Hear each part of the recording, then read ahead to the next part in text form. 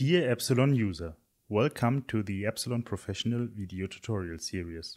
In this episode, I want to show you how you can create your own components in EBSILON via the macro feature.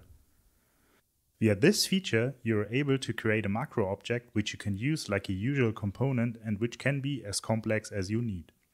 As an example, I want to create a macro to be used as a very simple CO2 capture component. First, we insert a new macro object by selecting Insert and then Macro Object, or by clicking on the Insert Macro button on the toolbar.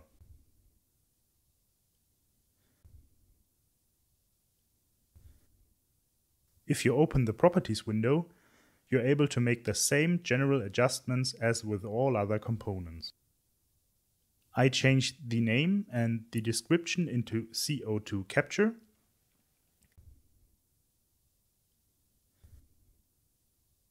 and I also changed the orientation. I want the component upright due to it looks more like a reactor. Now you need to open the inner macro view to set the in and outputs, specification values and may do some programming if needed. You can open the inner macro view by double clicking on the macro with the middle mouse button or by clicking right on it and then select open macro object. A new window opens which displays the inner macro view and includes your macro interface. It is easy to switch between the outer view and the inner view by selecting the respective tab. Well, let's start to develop the model. Select the inner macro view and open the interface block. You're also able to change the orientation of the interface as you like. Well, now determine the needed connections. For that, select the tab Ports and click on the table in the column Number. A new port is created, and this port should be the flue gas inlet, so we choose flue gas stream as type.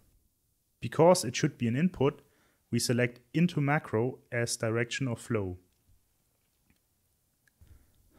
In the column Description, you can write your description which will be visible in the properties of this port.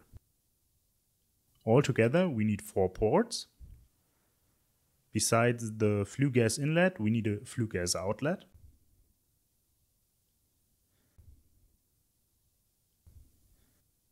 A CO2 outlet.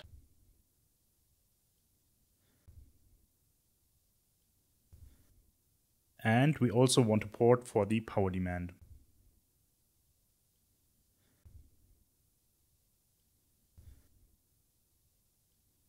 After you've created the needed ports, you can set the port positions in the Port Position tab.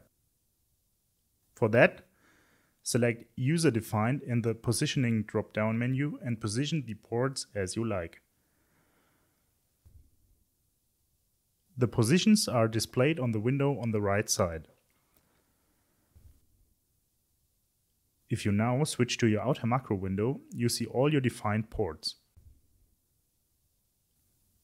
The CO2 outlet and the power inlet are mirrored. I simply mirror the macro object to get to our desired view.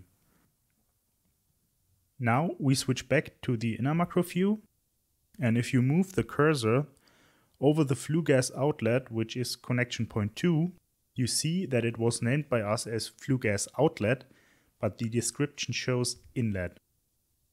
And that is due to the point of view from which we look at this port.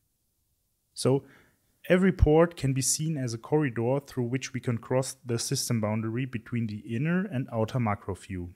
So let's assume we go through the flue gas inlet into the macro. If we then switch the point of view to the inner view, the same port is an outlet because someone coming through the port would get out of the outer view. Well, after you've defined your ports, you can start to model your process in the inner macro view window.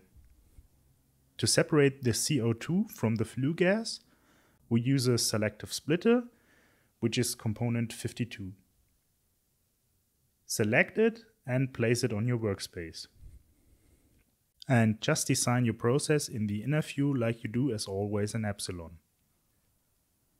Connect the flue gas inlet, which is port 1, to the selective splitter and in the splitter, the CO2 will be separated from the flue gas So connect the separated stream to the CO2 outlet, which is port 3.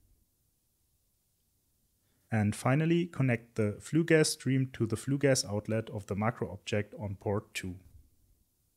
So the flue gas which flows into the macro is connected to the splitter, where the CO2 will be separated from the flue gas. You now see that a macro contains a process model that will be displayed as a component with in and outlets by the outer macro window.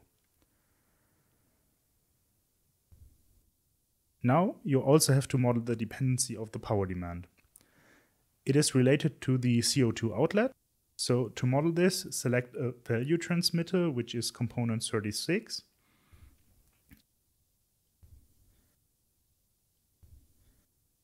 And then connect it to the electric line and to the CO2 outlet. Then you need to adjust the value transmitter. The type of input is mass flow, and our type of output is power. And we assume that as a reference, at a mass flow of 5 kilograms per second, the process needs 1500 kilojoules per kilogram of energy. Now you've finished the design of the model in the inner view. And you can use the macro if you set the JCO2 value directly in the selective splitter. To do so, open the properties menu of the splitter and set the CO2 separation rate to your desired value. I do set it to 80 percentages and then close the window via the OK button. After that, you can close the inner view window. Now you can use the macro object like a usual component. Drag the lines of the macro ports a bit and add some value crosses.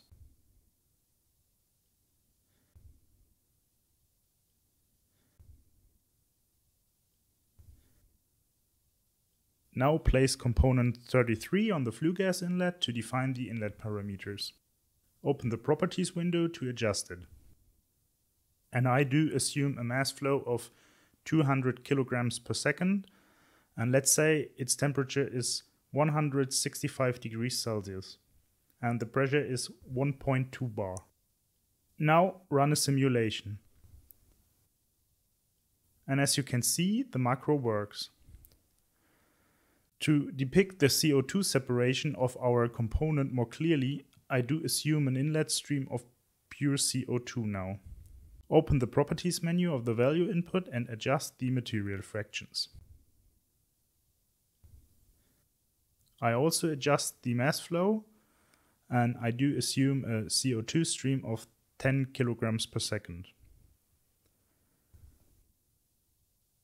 After that, run the simulation again. And you now see that 80 percentages of the CO2 is separated from the flue gas in our macro component. You also can look up the computed power demand of the component. But to be able to adjust all relevant parameters of your macro object in its properties menu, you need to define specification values in the inner view. And this will be the topic of the next episode. So let's sum up what we've learned. We know how we are able to insert a new macro object to our workspace. I also showed you how to open the inner view of the macro and how ports are created and how they are displayed as in and outlets in the inner and outer view of the macro object. And you also learned how macro objects in EBSILON Professional are structured. Thank you for watching this video. I hope you liked it. And if you have any questions about EBSILON Professional, please do not hesitate to contact us via email at info at ebsilon.com.